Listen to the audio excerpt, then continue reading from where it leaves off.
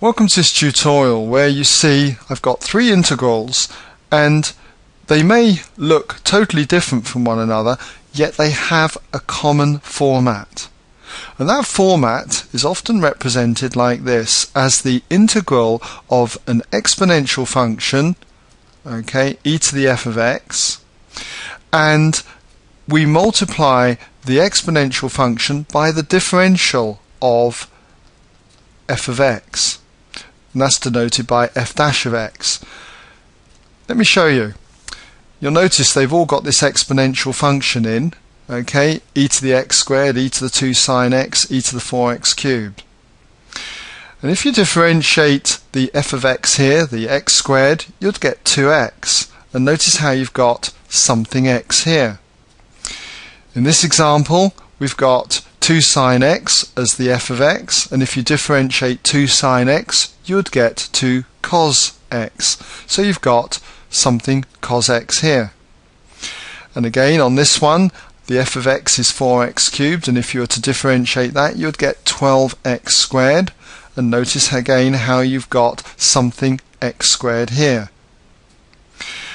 So what I'm going to do is show you how we integrate functions that have this particular format. And to do that, what I'm going to do is take you back to the chain rule. So, okay, what is the chain rule? Well, the chain rule you may remember is that if we have dy by dx, this is exactly the same as me saying dy by dt times dt by dx.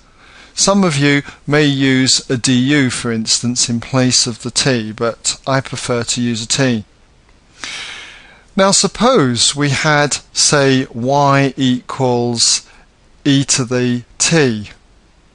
You should know that if you were to differentiate this, then dy by dt would be equal to e to the t. And so I'm going to use this now and we'll just talk through a few differentials. So suppose I had, for instance, y equaled e to the x squared. If I was to differentiate this, I would need the chain rule. I would call the x squared t, so I'd have y equals e to the t, and differentiating that, dy by dt would be e to the t. In other words, e to the x squared and that would take care of dy by dt here and then I have to times it by the differential of t with respect to x. So differentiating the x squared with respect to x gives me 2x cleaning that up I get 2x e to the x squared. Let's try a few more. Let's suppose I had y equals say e to the x cubed. In the same way, dy by dx would be equal to dy by dt, where t is the x cubed, so I get y equals e to the t, and that will be simply e to the x cubed. Multiply it by the differential of t with respect to x, and that gives me 3x squared. Clean that up, and I have 3x squared e to the x cubed. What about a trig one? Let's try a trig one. Let's say we have y equals e to the sine x. In the same way, t will be my sine x, so I'll have y equals e to the t, and differentiating this via the chain rule, dy dx will be equal to dy by dt, which is e to the t, or e to the sine x. And then it's multiplied by the differential of sine x, which is cos x. Okay, so I have these three results here. So what does this mean?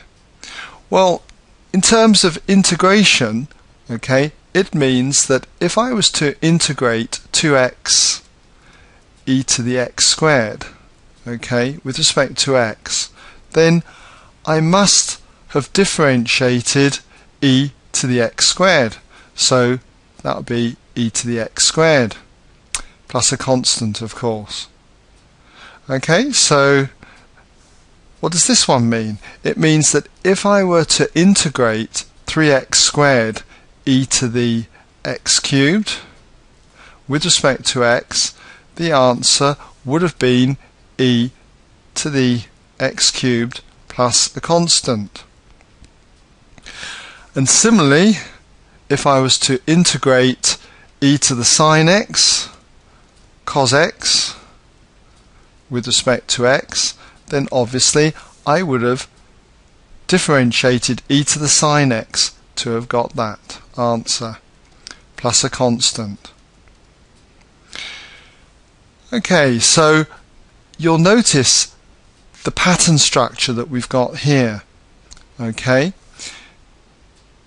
Also, let's see what else we can deduce from this. Suppose that I had to integrate x e to the x squared dx, that I took off that constant 2. What would I have differentiated? Well, it would have been e of x squared, basically, because if I differentiated e of x squared, you could see that I would get this result up here, 2x e to the x squared, almost similar to this. Only we've got a 2 here. And because there isn't a 2 here, it would mean that I'd have to multiply by a half. A half of 2 would be a 1, and so it would cancel it out. Plus c. Try this one.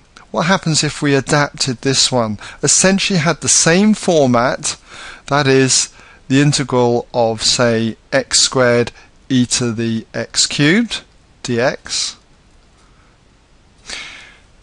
what would this one be?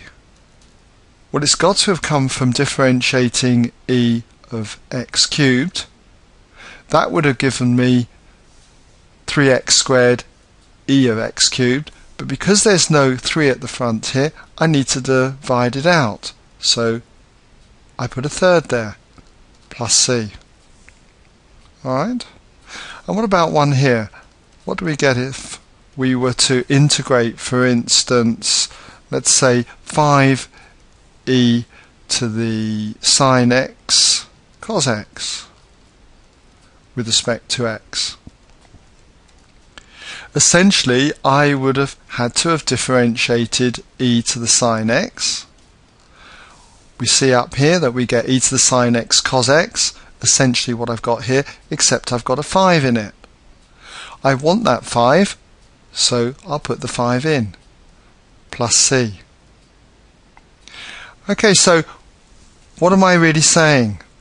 I'm saying that if we have, okay, something along the lines y equals e to the f of x, if we differentiate this with respect to x, what we get is that dy by dx is equal to f dash x multiplied by e to the f of x. So if we reverse the process and integrate an expression like this, what we should get is this result. So, in other words, if we had to integrate f dash x e of f of x with respect to x, what we should end up with is e of f of x plus a constant. And it is this idea that I'm trying to work on. So we'll just highlight that. So using this particular formula I should be able to do some examples. So let's just move that up to the top there and we'll try one or two examples.